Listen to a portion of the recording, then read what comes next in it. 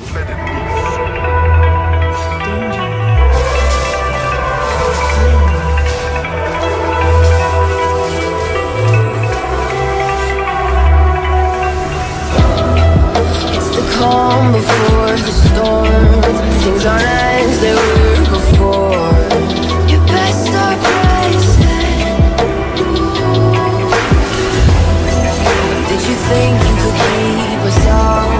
Shut the gates, forget us now